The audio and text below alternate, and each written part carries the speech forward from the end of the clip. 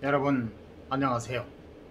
지금부터 90대 치매 할머니 40, 40시간 지킨 백구에서 백구에 관해서 말씀드리겠습니다. CNN도 감동했다. 세계적인 예, 방송이죠. CNN. 예, 쓰러진 90대 치매 할머니 곁을 지켜 국내 첫 명예 119 구조견으로 임명된 반려견 백구의, 사이, 백구의 사연이 미국 CNN에 소개됐다. CNN은 8월 현지 시 8일 현지 시각 주인의 생명 구한 강아지 한국 최초 명예 구조견으로 임명이라는 제목의 기사에서 백구의 사연을 전하며 용기 있는 4살짜리 백구를 통해 왜 개가 사람의 가장 친한 친구인지 그 이유를 알았다고 했다. 앞서 지난 6일 한국 시간 충남 홍성 소방서는 백구를 전국 1호 명예 119 구조견으로 임명하고 소방교 계급장을 수혜, 수혜했다. 국내에서 반려, 반려견이 명예 구조견으로 임명된 건 백구가 처음이다. 충남도는 백구는 치매를 앓고 있는 90세 할머니가 길을 잃어 논둑에 쓰러진 뒤 하루가 넘도록 곁을 떠나지 않았다면서 할머니의 생명을 구하는데 결정적으로 기여한 공을 인정해 명예 119 구조견으로 임명한 것이라고 설명했다. 지난달 25일 새벽 충남 홍성군에서 90대 할머니가 실종됐다는 신고가 경찰에 접수됐다.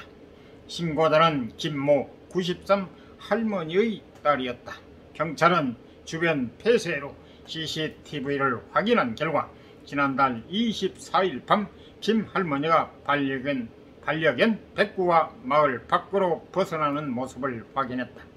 김 할머니를 찾기에 홍성소방서 구조대원, 의용소방대, 방범대가 투입되고 마을 주민들까지 나섰지만 26일 오전까지도 찾, 찾지 못했다.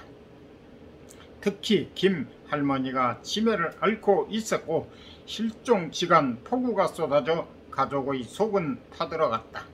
26일 오후 경찰은 열 화상 탐지용 드론을 띄웠고 실종 추정 40시간 만인 이날 오후 3시 30분쯤 작은 생체 신호가 포착됐다. 벼가 무성하게 자란 논 가장자리 물속에서 쓰러져 있던 김 할머니 곁을 지키던 백구의 체온을 드론이 감지한 것이다. 발견 당시 백구는 할머니 몸쪽에 바짝 붙어 있었다고 한다. 저 체온증을 보인 김 할머니는 병원으로 이송됐고 현재 건강을 회복했다. 사실 백구는 유기견이었다. 백구는 3년 전 대형견에 물려 사경을 헤매다 김 할머니 가족이 구해주면서 인연을 맺었다. 김 할머니는 백구를 정성껏 보살폈고 그때부터 김 할머니와 백구는 한시도 떨어지지 않을 만큼 돌돔는 사이가 됐다.